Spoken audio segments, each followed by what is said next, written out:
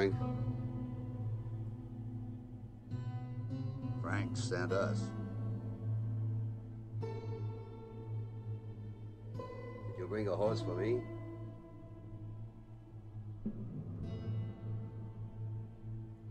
Well, Looks like we're. Looks like we're shy of one horse.